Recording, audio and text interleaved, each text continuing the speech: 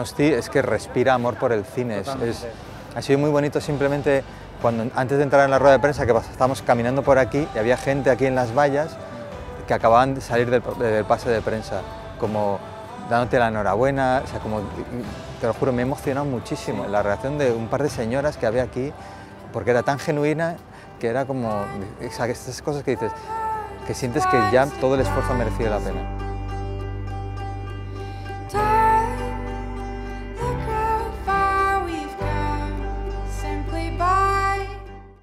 Recordaba cuando José Luis Rebordinos, el director, una vez nos invitó a, presentar aquí una muestra de cortos y vino con Antonio de la Torre. Recuerdo que los dos fantaseábamos de, estaría guay algún día venir aquí con una película al Festival de San Sebastián.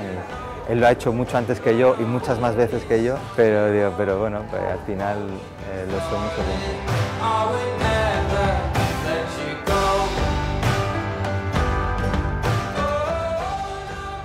Yo busco en la ficción mi refugio. Y 17 también fue ese refugio maravilloso en el que te, generas tú mismo una ficción, una historia, te generas una nueva familia para, para, contarla y te vas a Cantabria donde estábamos muy a gusto. Digamos que soy muy egoísta en ese sentido porque digamos que creo cosas para sentirme a gusto y bien y disfrutar y, y, vivir la vida con, con, intensidad. ¿no? Entonces 17 fue como, como, uy, como en cuanto se me ocurrió, era como vale, me quiero ir a vivir a esta película durante un tiempo con, con ellos, ¿no?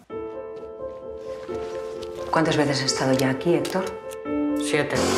¿Qué te dije la última vez? Muchas cosas. La última cosa que te dije. Que no me pasabas ni una más. ¿Y la penúltima vez que te vi? No me pasabas ni una más. ¿Y qué conclusión sacas de todo esto? Que mientes. Hay un canto en esta película, el amor a los perros, pero también para mí es muy importante el amor a la, gente mayor. Mis abuelos han sido una fuente de, sabiduría, de vida constante. Yo, de niño era un poco raro porque me gustaba estar mucho con, gente mayor. Yo me iba con mi abuelo al hogar del jubilado a jugar a las cartas con los jubilados y era feliz, o con mi abuelo a los bolos aquí en Cantabria. Y era, esa, como que era como, yo no me quería ir a jugar con otros niños, ¿no? quería irme con mis abuelos. Yo te quería preguntar, antes de nada, ¿qué has estado haciendo estos seis años. Has estado haciendo una novela, pero son muchos años porque tus anteriores pelis eran cada dos años. Y de repente has estado otras cosas. Yo siempre digo que para poder escribir, para poder contar historias, te tienen que pasar cosas. Porque a mí me gusta mucho inspirarme en lo, que tengo alrededor, en lo que veo, en lo que siento.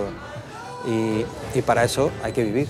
Estás rodando mucha publi también, te ayuda mucho a quitarte tonterías, eh, egos. Eh, y ponerte al servicio de, contar historias de otras personas en otros formatos también es un aprendizaje muy, muy chulo. Y en definitiva creo que en estos seis años que no he rodado ninguna película, creo que me he convertido en mejor director.